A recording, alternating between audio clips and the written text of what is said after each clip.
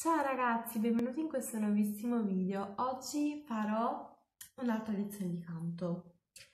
Sì, dovevo registrare stamattina, avete ragione, ma purtroppo cosa è successo non ho avuto tempo. Eh sì, se vedete comunque il distacco collo perché ho fatto Setsuna e, di, e perché ho fatto la Sailor Week su Instagram. Vi tengo, aggiorn- cioè vi iscrivo sempre i miei contatti qui sotto, Instagram, Facebook, Snapchat, TikTok, eccetera.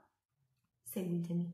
E se vi piace questo video iscrivetevi al canale, attivate la campanellina solo se avete voglia e commentate per vedere, eh, commentate appunto se vi piace questa lezione di canto perché oggi è l'altra lezione di canto e vi parlo delle note maggiori e le note minori. Questa lezione di canto e appunto è molto più pratica, però io vi spiegherò due piccole nozioni. Allora, quando uh, ci sono le note, diciamo, maggiori, quindi praticamente appunto che fanno na na na na, cioè che hanno così na na, oppure posso fare un esempio, la canzone dei sette nani in Biancaneve, hey ho, hey ho, Home è comunque una canzone molto allegra, mentre le note minori na, na, na, na, ci sono molte canzoni molto più tristi, più demotivate. Ora non me ne viene in mente neanche una, per esempio sa, na, na, per esempio mm, Buongiorno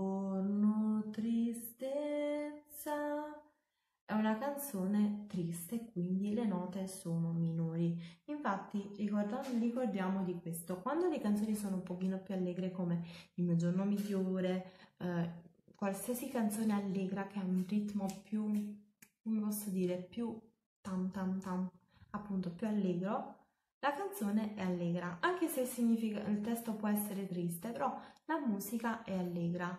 Nel momento che eh, c'è una canzone fa con una musica molto più triste, anche se il significato, come detto prima, è allegro, però comunque è triste e va interpreta interpretata in modo malinconico. Malin... Sì, in quel modo là.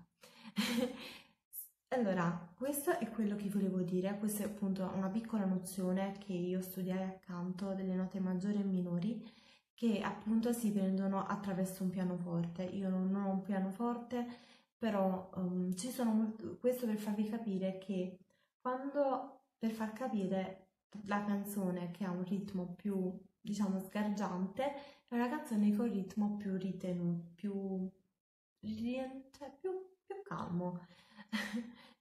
triste, ok? Non so come spiegarlo, però che comunque va interpretato in un certo modo. E poi man mano appunto vedremo cosa è l'interpretazione, come si interpreta una canzone um, e poi vedremo altre cose ancora perché è vero che siamo agli sgoccioli, cioè siamo alle ultime lezioni di canto, però ce ne sono altre tre o quattro che dovrò fare. Bene ragazzi, questa brevissima lezione di canto finisce qui. Io vi saluto. Iscrivetevi appunto al mio canale YouTube e tutti i canali che vi lascio qui giù nell'info box e ci vediamo in un prossimo video. Ciao!